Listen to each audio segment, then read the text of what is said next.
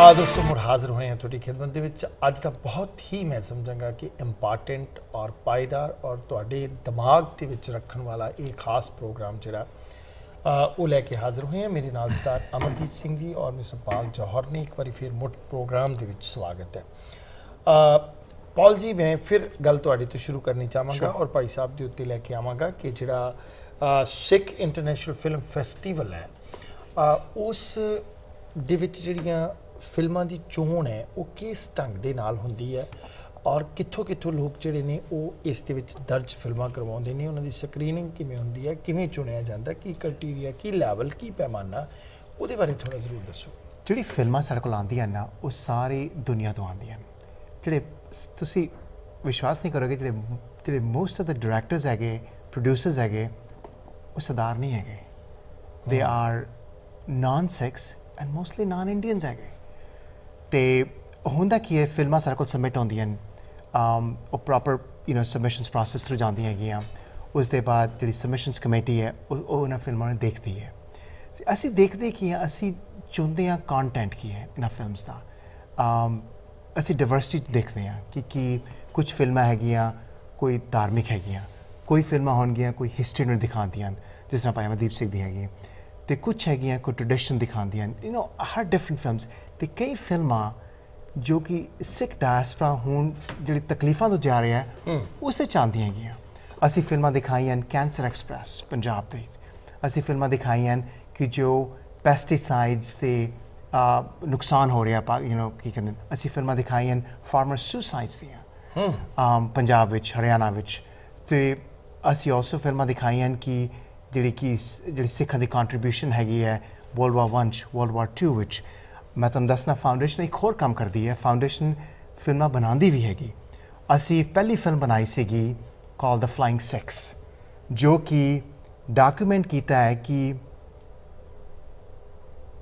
ਜੋ ਸਰਦਾਰ, ਜਿਨ, ਜੋ ਜੋ ਜੋ ਸਿੱਖਾਂ ਨੇ ਰਾਇਲ 에ਅਰ ਫੋਰਸ ਵਿੱਚ ਕੀ ਕਹਿੰਦੇ ਨੇ ਹਿੱਸਾ ਲਿੱਤਾ ਹੈਗਾ। ਇਹ ਜਿਹੜੇ ਸਰਦਾਰ ਪਾਇਲਟਸ ਬਣੇ ਹੈਗੇ, ਪਹਿਲੇ ਸਰਦਾਰ ਹਰਦੇਵ ਸਿੰਘ ਮਲਿਕ, ਅਰਜਨ ਸਿੰਘ 에ਅਰ ਮਾਰਸ਼ਲ ਅਰਜਨ ਸਿੰਘ, ਇਹਨਾਂ ਦੀ ਹਿਸਟਰੀ ਇਹ ਜਿਹੜੇ ਬੰਦੇ ਸੀਗੇ, ਇਹ ਪਾਇਨੀਅਰ ਸੀਗੇ। ਇਹਨਾਂ ਆ ਕੇ ਪਹਿਲੇ ਫਲਾਈਂਗ ਸਿੱਖੀ ਹੈ ਰਾਇਲ 에ਅਰ ਫੋਰਸ ਵਿੱਚ। ਦੇ ਉਹਨਾਂ ਵਰਲਡ ਵਾਰ 1 ਵਰਲਡ ਵਾਰ 2 ਵਿੱਚ ਪਾਰਟਿਸਿਪੇਟ ਕੀਤਾ ਫਿਰ ਇਹਨਾਂ ਜਾ ਕੇ ਕੀ ਕਹਿੰਦੇ ਨੇ ਐਸਟੈਬਲਿਸ਼ ਕੀਤਾ ਇੰਡੀਅਨ 에ਅਰ ਫੋਰਸ ਅਸੀਂ ਉਹਨਾਂ ਤੇ ਫਿਲਮ ਬਣਾਈ ਹੈ।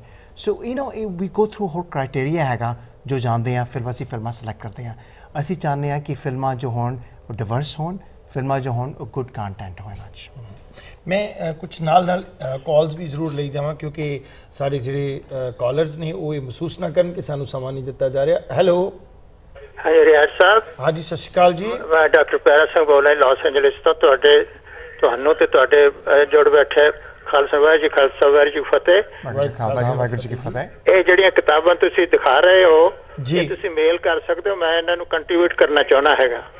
ਜ਼ਿਆਦਾ ਤੋਂ ਜ਼ਿਆਦਾ ਕੰਟਰੀਬਿਊਟ ਕਰਨਾ ਚਾਹੁੰਦਾ ਜੀ ਡਾਕਟਰ ਸਾਹਿਬ ਮੈਂ ਇਸ ਤਰ੍ਹਾਂ ਕਰਦਾ ਹੈਗਾ ਸਰਦਾਰ ਅਮਰਦੀਪ ਸਿੰਘ ਹੋਰਾਂ ਨੂੰ ਮੈਂ ਤੁਹਾਡਾ ਟੈਲੀਫੋਨ ਨੰਬਰ ਜਿਹੜਾ ਉਹ ਦੇ ਦਿੰਨਾ ਹੈ ਔਰ ਇਹ ਤੁਹਾਡੇ ਨਾਲ ਰਾਬਤਾ ਕਾਇਮ ਜਿਹੜਾ ਹੈ ਉਹ ਜ਼ਰੂਰ ਕਰ ਲੈਣਗੇ ਕਿ ਮਤਲਬ ਕਿਸ ਤਰ੍ਹਾਂ ਮਤਲਬ ਕੀਤਾ ਜਾ ਸਕਦਾ ਠੀਕ ਹੈ ਨਾ ਜੀ I will try to contribute maximum, you know. ਬਿਲਕੁਲ ਬਿਲਕੁਲ ਬਿਲਕੁਲ. ਸਰ ਇਹ ਇਹ ਬਹੁਤ ਵੱਡਾ ਕਾਜ਼ ਹੈ ਮੈਂ ਸਮਝਾਂਗਾ ਕਿ ਆਪਣੀ ਆਪਣੀ ਜਨਰੇਸ਼ਨ ਨੂੰ ਇਹ ਜਿੱਥੇ ਜਿੱਥੇ ਇੱਕ ਰੌਸ਼ਨੀ ਵਾਲਾ ਜਾਗ ਹੈ ਜਿੱਥੇ ਜਿੱਥੇ ਲੱਗੇਗਾ ਉੱਥੇ ਉੱਥੇ ਇਹ ਗੱਲ ਅੱਗੇ ਤੋਂ ਅੱਗੇ ਜਿਹੜੀ ਹੈ ਉਹ ਜ਼ਰੂਰ ਜਾਏਗੀ। No, I will contribute thousands of dollars, you know. ਠੀਕ ਹੈ ਜੀ ਠੀਕ ਹੈ ਠੀਕ ਹੈ ਠੀਕ ਹੈ। ਮੈਂ ਮੈਂ ਮੈਂ ਡਾਕਟਰ ਸਾਹਿਬ ਸਮਝਦਾ ਔਰ ਸਰਦਾਰ ਅਮਰਦੀਪ ਸਿੰਘ ਤੁਹਾਨੂੰ ਫੋਨ ਕਰਨਗੇ। ਮੈਂ ਤੁਹਾਡਾ ਨੰਬਰ ਇਹਨਾਂ ਨੂੰ ਦੇ ਦਿੰਦਾ ਮੇਰੇ ਕੋਲ ਤੁਹਾਡਾ ਨੰਬਰ ਆ ਗਿਆ ਹੈ ਸੇਮ ਨੰਬਰ ਚਲੋ ਠੀਕ ਹੈ ਜੀ। ਠੀਕ ਹੈ ਜੀ ਇਹ ਜਦੋਂ ਮਰਜ਼ੀ ਤੁਹਾਨੂੰ ਕਾਲ ਕਰ ਕਦੋਂ ਕਰਨਗੇ ਤਾਂ ਕਿ ਮੈਂ ਇੱਥੇ ਰਹਿ ਕੇ ਵੀ ਜੀ ਵੇਟ ਮੈਂ ਕਰਾਂ ਇਹਨਾਂ ਦੀ। ਮੈਂ ਤੁਹਾਨੂੰ ਕੱਲ ਕੱਲ ਕਰ ਲਾਂਗਾ ਕੱਲ ਸਵੇਰੇ। ਕੱਲ ਕਰ ਲੈਣਗੇ ਜੀ ਕਾਲ ਜਾਂ ਅੱਜ? ਪ੍ਰੋਗਰਾਮ ਖਤਮ ਹੋਣ ਤੋਂ ਬਾਅਦ ਅੱਧੇ ਘੰਟੇ ਦੇ ਵਿੱਚ ਕਾਲ ਕਰ ਲੈਣਗੇ ਤੁਹਾਨੂੰ. I thank thank you. Thank you doctor sahib ਬਹੁਤ ਬਹੁਤ ਬਹੁਤ ਬਹੁਤ ਸ਼ੁਕਰੀਆ ਬਹੁਤ ਬਹੁਤ ਸ਼ੁਕਰੀਆ ਸਰ ਅਮਰਦੀਪ ਸਿੰਘ ਜੀ ਮੈਂ ਇੱਕ ਗੱਲ ਜ਼ਰੂਰ ਮੇਰੇ ਮਤਲਬ ਮਨ ਦੇ ਵਿੱਚ ਆਉਂਦੀ ਹੈ ਕਿ ਜਿਹੜਾ ਅਸੀਂ ਇਹ ਗੱਲ ਕਹਿੰਦੇ ਕਿ ਸਾਡਾ ਸਿੱਖ ਕੌਮ ਦਾ ਆਖਰੀ ਸੂਰਜ ਮਹਾਰਾਜਾ ਰਣਜੀਤ ਸਿੰਘ ਦਾ ਉਹ ਰਾਜ ਸੀ ਕਿਸ ਤਰ੍ਹਾਂ ਉਹ ਅੰਗਰੇਜ਼ ਨੇ ਸਾਡੇ ਕੋਲੋਂ ਖੋਇਆ ਔਰ ਮਹਾਰਾਜਾ ਰਣਜੀਤ ਸਿੰਘ ਦੇ ਰਾਜ ਨੂੰ ਅੱਜ ਵੀ ਯਾਦ ਕੀਤਾ ਜਾਂਦਾ ਕਿ ਮਹਾਰਾਜਾ ਰਣਜੀਤ ਸਿੰਘ ਦਾ ਰਾਜ ਸੀ। ਦੇਖਣ ਵਾਲੀ ਗੱਲ ਇਹ ਹੈ ਕਿ ਜਿਹੜਾ ਉਹ ਮਹਾਰਾਜਾ ਰਣਜੀਤ ਸਿੰਘ ਦਾ ਰਾਜ ਸੀ, ਜਦੋਂ ਅਸੀਂ ਉਹਦੇ ਵੱਲ, ਉਹਦੀਆਂ ਹੱਦਾਂ ਵੱਲ ਨਜ਼ਰ ਮਾਰਦੇ ਹਾਂ, ਤਾਂ ਮੈਨੂੰ ਅੱਜ ਤੁਹਾਡੀਆਂ ਇਹ ਕਿਰਤਾਂ ਤੋਂ, ਤੁਹਾਡੀਆਂ ਇਹ ਕਿਤਾਬਾਂ ਤੋਂ, ਤੁਹਾਡੇ ਇਸ ਕਲੈਕਸ਼ਨ ਤੋਂ ਇਹ ਮਹਿਸੂਸ ਹੋ ਰਿਹਾ ਕਿ ਮੋਰ ਦੈਨ 70% ਤੇ ਉਹ ਸਾਰੇ ਦਾ ਸਾਰਾ ਜਿਹੜਾ ਉਹ ਪਾਕਿਸਤਾਨ ਦੇ ਵਿੱਚ ਹੀ ਰਹਿ ਗਿਆ। 80 ਫੀਸਦੀ 80% ਇਸ 80 ਫੀਸਦੀ ਅਗਰ ਜੀਓਗ੍ਰਾਫਿਕਲੀ ਦੇਖਿਆ ਜਾਏ ਜੋ ਸਿੱਖ ਇੰਪਾਇਰ ਦਾ ਗਲੋਰੀਅਸ ਚੈਪਟਰ ਸੀਗਾ ਜੋ ਇੱਕ ਲਾਸਟ ਅੰਸ਼ ਬੰਦਾ ਹੈ ਬ੍ਰਿਟਿਸ਼ ਇੰਪਾਇਰ ਦਾ ਉਸ ਦੇ ਵਿੱਚ ਅਗਰ ਅਸੀਂ ਪਲਾਟ ਕਰੀਏ ਕਿੱਥੇ ਕਿੱਥੋਂ ਲਾਈਨ ਆਫ ਕੰਟਰੋਲ ਜਾ ਰਹੀ ਹੈ ਤੇ 20 ਫੀਸਦੀ ਜਿਹੜਾ ਅੱਜ ਇੰਡੀਆ 'ਚ ਹੈ 80 ਫੀਸਦੀ ਪਾਕਿਸਤਾਨ ਵਿੱਚ ਹੈ ਲੇਕਿਨ ਉਹ ਰਾਜ ਦੀ ਗੱਲ ਕਰ ਰਹੇ ਹਾਂ ਤੁਸੀਂ ਐਂਥਰੋਪੋਲੋਜੀਕਲੀ ਦੇਖਦੇ ਹੋ ਤੇ ਜਿੱਥੋਂ ਇੰਡਸ ਦਾ ਦਰਿਆ ਆ ਰਿਹਾ ਹੈ ਜਿਹਦੇ ਪੰਜ ਦਰਿਆ ਪੰਜਾਬ ਦੇ ਆ ਕੇ ਮਿਲ ਰਹੇ ਨੇ ਉਹ ਤੇ ਰਾਜ ਦੀ ਬਾਉਂਡਰੀ ਪੋਲਿਟੀਕਲ ਬਾਉਂਡਰੀ ਨਹੀਂ ਹੈ। ਉਹਦੇ ਅੰਦਰ ਅਸੀਂ ਗੱਲ ਕਰ ਰਹੇ ਹਾਂ ਜਿਹੜੇ ਹਿਊਮਨਸ ਇਨਸਾਨ ਜਿਹੜੇ ਰਹਿੰਦੇ ਨੇ ਜਿਹੜੇ ਬਾਬਾ ਨਾਨਕ ਨੂੰ ਮੰਨਣ ਵਾਲੇ ਨੇ। ਹੂੰ। ਉੱਪਰ ਕਸ਼ਮੀਰ ਤੋਂ ਲੈ ਕੇ ਸਿੰਧ ਬਲੋਚਿਸਤਾਨ ਤੱਕ ਜਿਹੜੇ ਨਾਨਕ ਪੰਥੀਆਂ ਜਿਹਨਾਂ ਨੂੰ ਅਸੀਂ ਕਹੀਦਾ ਸੀਗਾ। ਹੂੰ। ਉਹ ਟ੍ਰੈਡੀਸ਼ਨ ਅੱਜ ਵੀ ਬੇਸ਼ੱਕ ਉਸ ਉਹ ਸਾਡੀ ਇੰਡਸ ਬੈਲਟ ਤੋਂ ਖਤਮ ਹੋ ਗਿਆ ਇਸ ਪੋਲਿਟੀਕਲ ਡਿਵੀਜ਼ਨ ਦੇ ਕਰਕੇ। ਲੇਕਿਨ ਅੱਜ ਵੀ ਜੋ ਅੰਸ਼ ਰਹਿ ਗਿਆ ਉੱਥੇ ਮੇਰੇ ਐਸਟੀਮੇਟ ਦੇ ਨਾਲ ਹੈਰਾਨਗੀ ਵਾਲੀ ਗੱਲ ਹੈ ਕਿ ਘੱਟ ਤੋਂ ਘੱਟ ਨਹੀਂ ਆ 800000 ਤੋਂ ਲੈ ਕੇ 1 million believers of Guru Nanak are still staying in the Indus belt ਤੇ ਉਹਨਾਂ ਦੇ ਵਿੱਚ ਮੈਂ ਜਾ ਕੇ ਰਿਹਾ ਉੱਥੇ ਉਹਨਾਂ ਦੇ ਨਾਲ ਗੱਲਾਂ ਬਾਤਾਂ ਕੀਤੀਆਂ ਨੇ ਉਹਨਾਂ ਦੇ ਕਲਚਰ ਨੂੰ ਮੈਂ ਇਸ ਵਿੱਚ ਅੰਕਿਤ ਕੀਤਾ ਹੈ। ਫੋਟੋਆਂ ਨੇ ਤੁਸੀਂ ਆਪ ਦੇਖ ਸਕਦੇ ਹੋ ਕਿ ਪਿਕਚਰਸ ਨੈਵਰ ਲਾਈ ਹੈ। ਨਾ? ਪਿਕਚਰ ਕਦੀ ਝੂਠ ਨਹੀਂ ਬੋਲਦਾ। ਤੇ ਇਹਦੇ ਅੰਦਰ ਉਹਨੂੰ ਅੰਕਿਤ ਕੀਤਾ ਗਿਆ ਹੈ। ਤੇ ਨਾ ਹੀ ਸਿਰਫ ਪੋਲਿਟੀਕਲ ਬਾਉਂਡਰੀ ਇੱਕ ਕਲਚਰਲ ਬਾਉਂਡਰੀ ਜਿਹੜੀ ਹੁੰਦੀ ਜਿਹਦੀ ਹੋਂਦ ਬੜੀ ਵੱਡੀ ਹੁੰਦੀ ਹੈ। ਉਹ ਵੀ ਖਤਮ ਹੋ ਗਈ ਮਤਲਬ ਮੈਂ ਇੱਕ ਗੱਲ ਕਹਾਂਗਾ ਕਿ ਜਿਵੇਂ ਅਸੀਂ ਇਹ ਗੱਲ ਕਹਿ ਸਕਦੇ ਹਾਂ ਕਿ ਕਈ ਇਸ ਤਰ੍ਹਾਂ ਦੇ ਹਿੰਦੁਸਤਾਨ ਦੇ ਵਿੱਚ ਇਲਾਕੇ ਨੇ ਜਿੱਥੇ ਸਿਗਲੀਗਰ ਸਿੱਖ ਰਹਿ ਰਹੇ ਨੇ ਔਰ ਸਾਡੀ ਐਸਜੀਪੀਸੀ ਔਰ ਸਾਡੀ ਜਿਹੜੀ ਸਿੱਖ ਲੀਡਰਸ਼ਿਪ ਹੈ, ਉਹਨਾਂ ਨੂੰ ਇਸ ਗੱਲ ਦਾ ਪਤਾ ਨਹੀਂ। ਉਹ ਕਹਿ ਦਿੰਦੇ ਨੇ ਜੀ, ਸਾਡੇ ਸਿਗਲੀਗਰ ਨੇ, ਅਸੀਂ 5000 ਪ੍ਰਾਣੀ ਨੂੰ ਅੰਮ੍ਰਿਤ ਛਕਾਤਾ। ਪਰ ਜਿਹੜੇ ਆਲਰੇਡੀ ਉਹ ਲੋਕ ਨੇ ਜਿਹੜੇ ਆਪਣੇ ਕੇਸ ਨਹੀਂ ਕਤਲ ਕਰਦੇ ਉਹਨਾਂ ਦੇ ਦਸਤਾਰ ਭਾਵੇਂ ਨਹੀਂ ਬੰਨਣ ਨੂੰ, ਉਹਨਾਂ ਦੇ ਪੈਰ ਨੰਗੇ ਨੇ, ਉਹਨਾਂ ਕੋਲ ਸਕੂਲ ਨਹੀਂ ਹੈ, ਗੁਰਦੁਆਰਾ ਨਹੀਂ, ਇੱਕ ਬਹੁਤ ਵੱਡੀ, ਮੈਂ ਕਹਿੰਦਾ ਮਿਲੀਅਨ ਦੀ ਉਹ ਵਿਰਾਸਤ ਹੈ, ਉਹਨੂੰ ਕਦੇ ਵੀ ਸਾਡੀ ਸਿੱਖ ਲੀਡਰਸ਼ਿਪ ਨੇ ਸੰਭਾਲਿਆ ਨਹੀਂ ਹੈ। ਔਰ ਉਸੇ ਤਰ੍ਹਾਂ ਹੀ ਅਣਗੌਲਿਆ ਮੈਂ ਸਮਝਦਾ ਕਿ ਕਰ ਦਿੱਤਾ, ਨਾਨਕ ਪੰਥੀਆਂ ਨੂੰ ਵੀ ਅਣਗੌਲਿਆ ਕੀਤਾ ਹੋਇਆ। ਮੈਂ ਦੇਖੋ ਜੀ, ਮੈਨੂੰ ਦੁੱਖ ਹੁੰਦਾ ਹੈ ਕਿ 4 ਸਾਲ ਦੀ ਕਾਲਨਾ ਤੋਂ ਬਾਅਦ ਮੈਨੂੰ ਬੜੇ ਲੋਕਾਂ ਨੇ ਮਦਦ ਕੀਤਾ ਹੈ ਬੜੇ ਪਲੇਟਫਾਰਮ ਨੇ ਹੱਥ ਵੜਿਆ ਹੈ ਕਿਉਂਕਿ ਇੱਕ ਬੰਦੇ ਦਾ ਕੰਮ ਹੀ ਨਹੀਂ ਹੋ ਸਕਦਾ। ਰਾਈਟ ਮੈਨੂੰ ਪਾਕਿਸਤਾਨ ਦੇ ਅੰਦਰ ਜਿਹੜਾ ਇਨਸਾਨ ਜਿਹੜਾ ਹਰ ਇੱਕ ਪਿੰਡ ਦੇ ਅੰਦਰ ਮਿਲਿਆ ਮੈਂ 126 ਸ਼ਹਿਰ ਤੇ ਪਿੰਡ ਹੋ ਕੇ ਆਇਆ ਦੋਵਾਂ ਕਿਤਾਬਾਂ ਦੇ ਅੰਦਰ। ਹਰ ਇੱਕ ਥਾਂ ਤੇ ਸਿੱਖ ਵਿਰਾਸਤ ਦੀ ਕੋਈ ਨਾ ਕੋਈ ਅੰਸ਼ ਮੈਨੂੰ ਨਜ਼ਰ ਆਈ ਹੈ ਮਲਟੀਪਲ ਲੈਵਲਸ ਦੇ ਅੰਦਰ ਜਿਨ੍ਹਾਂ ਨੂੰ ਮੈਂ ਅੰਕਿਤ ਕੀਤਾ ਹੈ ਇਹਦੇ ਅੰਦਰ। ਮਿਸਾਲ ਦੇ ਤੌਰ ਤੇ। ਤੇ ਅਜੇ ਤੇ ਕੰਮ ਬੜਾ ਟਿਪ ਆਫ ਦੀ ਆਈਸਬਰਗ ਹੈ ਰਾਈਟ ਮੈਂ ਤੁਸੀਂ ਸਿੱਖ ਲੀਡਰਸ਼ਿਪ ਦੀ ਗੱਲ ਕੀਤੀ ਹੈ ਬੜੇ ਲੋਕਾਂ ਨੇ ਇੰਡੀਵਿਜੂਅਲ ਲੈਵਲ ਤੇ ਆਰਗੇਨਾਈਜੇਸ਼ਨ ਨੇ ਪਲੇਟਫਾਰਮ ਦਿੱਤੀ ਹੈ। ਅੱਜ ਇੱਥੇ ਹੁਣ ਇਸ ਮੌਕੇ ਦੇ ਵਿੱਚ Sikh arts and film foundation ਵਾਲੇ ਵੀ ਮੌਕਾ ਦੇ ਰਹੇ ਨੇ। ਲੇਕਿਨ ਜਿਹੜੀ ਆਪਣੀ ਪ੍ਰਾਈਮ ਲੀਡਰਸ਼ਿਪਸ ਨੇ ਨਾ ਉਹਨਾਂ ਨੇ ਇਸ ਕੰਮ ਨੂੰ ਨਿਵੇਸਲਾ ਜਿਹਾ ਕੀਤਾ ਹੈ। ਕਿ ਇੱਕ ਇਨਸਾਨ ਨੇ 70 ਸਾਲ ਬਾਅਦ ਜਾ ਕੇ ਕੁਝ ਡਾਕੂਮੈਂਟ ਕੀਤਾ ਹੈ ਤੁਹਾਡੀ ਅਗਲੀ ਪਨੀਰੀ ਵਾਸਤੇ। ਇਹ ਕਿਤਾਬਾਂ ਤਾਰੀਖੀ ਕਿਤਾਬਾਂ ਨਹੀਂ ਨੇ। ਇਹ ਅੱਜ ਦੇ ਜਿਹੜਾ ਮੇਰੀ ਫੀਲਿੰਗ ਸਫਰਨਾਮਾ ਅੱਜ ਦੇ ਲੋਕਾਂ ਨਾਲ ਮੈਂ ਜਿਹੜੀ ਮਹਿਸੂਸ ਕਰ ਰਿਹਾ ਉੱਥੇ ਗੱਲ ਨੂੰ ਪਾਸਟ ਦੇ ਨਾਲ ਮੈਂ ਕਨੈਕਟ ਕਰ ਰਿਹਾ through pictures and through dialogues ਉਸ ਪਹਿਲੀ ਵਾਰੀ ਹਜ਼ਾਰ ਸਫ਼ਿਆਂ 'ਚ ਦੋ ਕਿਤਾਬਾਂ 'ਚ ਪ੍ਰਿੰਟ ਕੀਤਾ ਗਿਆ ਇਹ ਤੇ ਸਾਡੀ ਲੀਡਰਸ਼ਿਪ ਨੂੰ ਫਕਰ ਹੋਣਾ ਚਾਹੀਦਾ ਹੈ ਔਰ ਇਸ ਨੂੰ ਪਲੇਸ ਕਰਨਾ ਚਾਹੀਦਾ ਹੈ ਲਾਇਬ੍ਰੇਰੀਜ਼ ਦੇ ਅੰਦਰ ਇੰਸਟੀਟਿਊਸ਼ਨਸ ਦੇ ਅੰਦਰ। ਅੱਗੇ ਸਾਡੇ ਹੋਰ ਪ੍ਰੋਜੈਕਟਸ ਨੂੰ ਮੈਂ ਲੈ ਕੇ ਜਾਣਾ, ਉਹਦੇ ਵਾਸਤੇ ਫੰਡਿੰਗ ਦੀ ਲੋੜ ਹੈ।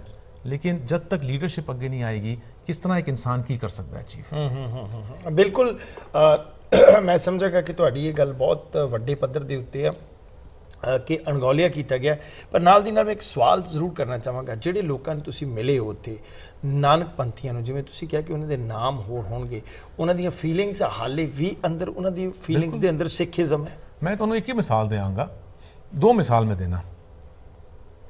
ਆ ਸਿੰਧ ਵੱਲ ਤੁਸੀਂ ਚਲੇ ਜਾਓ। ਸਿੰਧ ਦੇ ਵੱਲ ਹਰ ਇੱਕ ਦਰਬਾਰ ਦੇ ਅੰਦਰ ਬੇਸ਼ੱਕ ਅੱਜ ਮੈਂ ਇਹ ਦਾਵਾ ਕਰਕੇ ਕਹਿਣਾ ਕਿ ਅੱਜ ਅਗਰ Sikhism is on the rise ਅਗਰ ਸਿੱਖੀਜ਼ਮ ਕਿਧਰੇ ਵੱਧ ਰਿਹਾ ਹੈ ਤੇ ਉਹ ਸਿਰਫ ਪਾਕਿਸਤਾਨ ਦਾ ਜਿਹੜਾ ਸਦਨ ਇਲਾਕਾ ਹੈ ਸਿੰਧ ਤੇ ਬਲੋਚਿਸਤਾਨ ਉੱਥੇ ਗੁਰੂ ਨਾਨਕ ਨਾਮ ਲੇਵਾ ਜਿਹੜੇ ਖਾਲਸਾ ਟ੍ਰੈਡੀਸ਼ਨ ਨੂੰ ਅਡਾਪਟ ਕਰ ਰਹੇ ਨੇ ਔਰ ਪਿਛਲੇ 25 ਸਾਲਾਂ ਦੇ ਅੰਦਰ ਜਿਹੜੇ ਸਿੰਘ ਸਭਾ ਵਾਲੇ ਗੁਰਦੁਆਰੇ ਜਿਨ੍ਹਾਂ ਦੀ ਮੈਂ ਪਿਕਚਰਾਂ ਆਪਣੀ ਦੂਜੀ ਕਿਤਾਬ ਦੇ ਅੰਦਰ ਇਸ ਦੇ ਅੰਦਰ ਐਂਡ ਵਿੱਚ ਨਾਨਕ ਪੰਥੀਜ਼ ਦੇ ਉੱਪਰ ਲਿਖਿਆ ਹੈ ਉਹ ਰਾਈਜ਼ ਜਿਹੜਾ ਹੋ ਰਿਹਾ ਟ੍ਰੈਡੀਸ਼ਨ ਸਾਨੂੰ ਪਤਾ ਨਹੀਂ ਹੈ ਲੇਕਿਨ they are on the rise ਇੱਕੋ ਹੀ ਮੁਲਕ ਹੈ ਜਿੱਥੇ ਰਾਈਜ਼ ਹੋ ਰਿਹਾ ਹੈ ਰਾਈਟ ਦੂਜੀ ਮੈਂ ਗੱਲ ਕਹਿਣਾ ਉੱਥੇ ਮੈਂ ਜਾ ਕੇ ਦੇਖਣਾ ਤੁਹਾਡੇ ਜਿਹੜੇ ਖਾਲਸਾ ਟ੍ਰੈਡੀਸ਼ਨ ਨੂੰ ਨਜ਼ਰ ਨਹੀਂ ਆਉਂਦੇ ਲੇਕਿਨ ਜਿਹੜਾ ਪ੍ਰੇਮ ਪਿਆਰ ਉਹਨਾਂ ਨੂੰ ਗ੍ਰੰਥ ਸਾਹਿਬ ਦੇ ਨਾਲ ਹੈ ਉੱਥੇ ਬੈਠੇ ਹੋਏ ਨੇ ਰਿਮੋਟ ਰਿਮੋਟ ਏਰੀਆਜ਼ ਦੇ ਅੰਦਰ ਉਰਦੂ ਵਿੱਚ ਗ੍ਰੰਥ ਸਾਹਿਬ ਹੂੰ। ਨਾਲ ਹੀ ਨਾਲ ਗੁਰਮੁਖੀ ਵਿੱਚ ਗ੍ਰੰਥ ਸਾਹਿਬ ਸਿੰਧੀ ਵਿੱਚ ਗ੍ਰੰਥ ਸਾਹਿਬ ਹੈ। ਨਾ ਤੇ ਦੂਜੀ ਮੈਂ ਗੱਲ ਕਰਨਾ ਚਾਹਨਾ ਮੈਂ ਜਦੋਂ ਵੈਸਟ ਪੰਜਾਬ ਦੇ ਅੰਦਰ ਸਵਾਦ ਤੇ ਇਲਾਕੇ ਦੇ ਅੰਦਰ ਮਿੰਗੋਰਾ ਵਿੱਚ ਗਿਆ ਉੱਥੇ ਇੱਕ ਛੋਟਾ ਜਿਹਾ ਕਮਿਊਨਿਟੀ ਹੈ 70 ਕੋਈ ਪਰਿਵਾਰਾਂ ਦੀ ਤੇ ਇਹਨਾਂ ਦੇ ਬੇਸ਼ੱਕ ਨਾਂ ਨੇ ਸੰਤੋਸ਼ ਕੁਮਾਰ ਬੰਸਰੀ ਲਾਲ ਹੈ ਨਾ ਤੇ ਬੰਸਰੀ ਲਾਲ ਜੀ ਉੱਥੇ ਦੇ ਗ੍ਰੰਥੀ ਨੇ ਗੁਰਦੁਆਰੇ ਦੇ। ਅੱਛਾ ਗੁਰਦੁਆਰੇ ਦੇ ਗ੍ਰੰਥੀ ਬੰਸੀ ਲਾਲ ਨੇ। ਹੈ ਨਾ ਉਹਨਾਂ ਦੀ ਤੁਹਾਨੂੰ ਕੱਲ ਤੁਸੀਂ ਅ, 17 17 ਤਰੀਕ ਨੂੰ ਤੁਸੀਂ ਆ ਕੇ ਦੇਖੋਗੇ ਫਿਲਮ ਪੀਅਰਿੰਗ ਸੋਲ ਦੇ ਅੰਦਰ।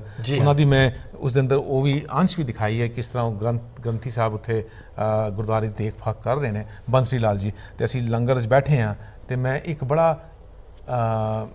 ਫੁਲਿਸ਼ ਸਵਾਲ ਕੀਤਾ ਉਹਨਾਂ ਨੂੰ ਤੇ ਉਹਨਾਂ ਨੇ ਜਵਾਬ ਮੈਨੂੰ ਬਿਲਕੁਲ ਤੋਲ ਕੇ ਦਿੱਤਾ। ਤੇ ਮੈਂ ਉਹਨਾਂ ਨੂੰ ਗੱਲ ਕੀਤੀ ਮੈਂ ਲੰਗਰ ਛਕ ਰਿਹਾ ਸੀ ਕਿ ਮੈਂ ਮੈਂ ਕਿਹਾ ਬੰਸੀ ਲਾਲ ਜੀ ਮੈਨੂੰ ਇੱਕ ਗੱਲ ਦੱਸੋ। ਪਾਕਿਸਤਾਨ ਦੇ ਅੰਦਰ ਕਿਤਨੇ ਅੱਜ ਵੀ ਹਿੰਦੂ ਨੇ ਜਿਹੜੇ ਗੁਰੂ ਨਾਨਕ ਬਾਬਾ ਨਾਨਕ ਨੂੰ ਮੰਨਦੇ ਨੇ? ਹੂੰ।